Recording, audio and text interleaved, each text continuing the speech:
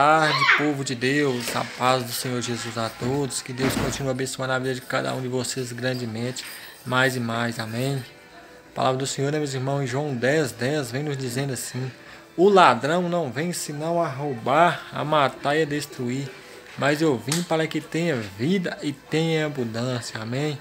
O inimigo, né, meus amados, Satanás, ele vem tentar roubar os nossos planos, frustrar, né, meus amados, nossos sonhos. Mas Jesus veio para nos dar vida e vida em abundância, né?